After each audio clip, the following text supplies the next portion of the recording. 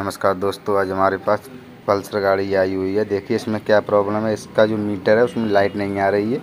चलिए, हम एक बार आपको चेक करा के दिखा देते हैं। चाबी को ऑन करके और लाइट को आपको चेक करा देते हैं मीटर में लाइट आ रही है या नहीं आ रही है। फिर किस तरीके से इसे सही करेंगे, वो हम आपको इस वीडियो में बताएँगे। देखिए, चाबी को ऑन कर दिया है, लेकिन इसमें लाइट नहीं आ रही है। चलिए, इसका हॉर्न बजा कर एक बार चेक कर लेते हैं बैटरी हमारी सही है या नहीं है। देखिए हॉर्न भी सही बज रहा है, लेकिन मीटर में लाइट नहीं आ रही है। किस तरीके से सही करेंगे, वो हम आपको इस वीडियो में बताएँगे। आपने अगर अभी तक वीडियो को लाइक नहीं किया है, लाइक कर देना, चैनल को सब्सक्राइब कर देना, बेल आइकन को भी दबा देना, जिससे हम नई वीडियो जब भी अपलोड करें, आपके पास जल्द से जल्द आ सके। चलिए, मीटर में हम लाइट कैसे सही करेंगे, वो दिखाते हैं। वायरिंग किस तरीके से, किस कौन कौन से वायर में करंट आना चाहिए। देखिए, सबसे पहले ये तो ब्राउन कलर का जो तार है, इसमें करंट आना चाहिए। बैटरी चाहे दस वोल्टेज हो चाहे बारह वोल्टेज हो, पूरे इसमें आने चाहिए, ठीक है?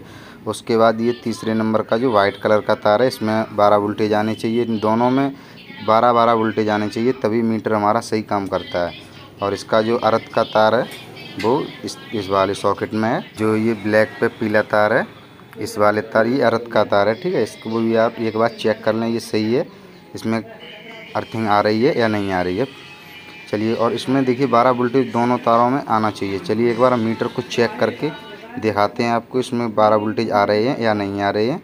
या हमारी डिस्प्ले प्रॉब्लम कर रही है, वायरिंग में प्रॉब्लम है। चलिए, मीटर से हम चेक कर लेते हैं, इनमें दोनों में बारह वोल्टेज आ रहे हैं या नहीं आ रहे हैं। ये मीटर में हम चेक कर लेते हैं, मीटर को बीस पर लगाएँगे। देखिए, आप चाहें तो 200 पर भी लगा सकते हैं और 20 पर भी लगा सकते हैं। मीटर रिज़ल्ट सही देगा, चाहे 200 पर लगाएँ, चाहे 20 पर लगाएँ।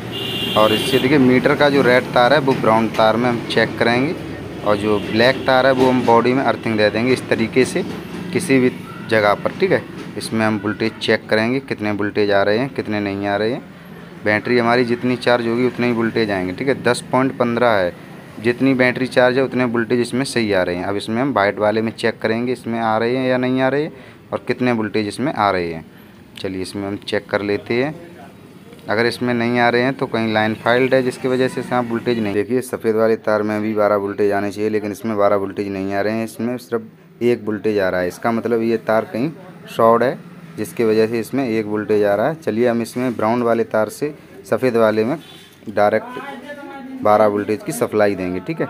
दोनों को आपस में कट करके सप्लाई देंगे। उसके बाद हम मीटर में चेक करेंगे, मीटर हमारा चालू हो रहा है या नहीं हो रहा है। देखिए, इस तरीके से आप दे सकते हैं सप्लाई।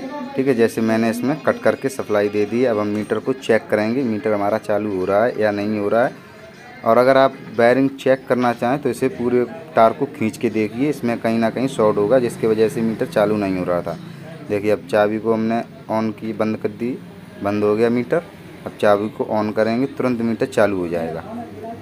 ठीक है? इस तरीके से आप मीटर सही कर सकते हैं और आपने अगर अभी तक वीडियो को लाइक नहीं किया, लाइक कर देना, चैनल को सब्सक्राइब कर देना, बेल आइकन को भी दबा देना, जिससे हम न्यू वीडियो जब भी अपलोड करें, आपके पास जल्द से जल्द आ सके।